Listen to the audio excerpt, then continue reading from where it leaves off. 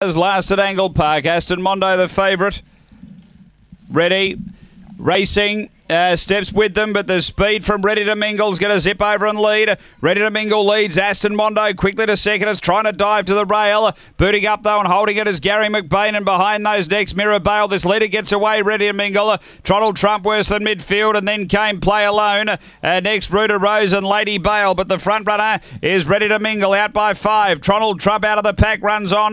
Then Mirror Bale, but straightening. Ready to Mingle clear of Trottle Trump and Ready to Mingle. Beats Trottle Trump. Third home is Mirror Bale. Uh, then Ruta Rose. And behind those uh, next, we had uh, Aston Mondo, uh, Lady Bale play alone. And the one right out the back was Gary McBain in the end. The time 30 and 25.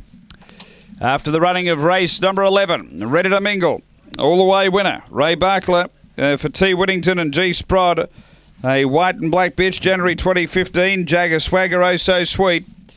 Uh, number four, first, second, going to two, which is Tronald Trump, Sharon Gray, a Red Fawn Dog, January 2014, Dynatron, Mizuno Bale, and five, Mirror Bale, Wendy.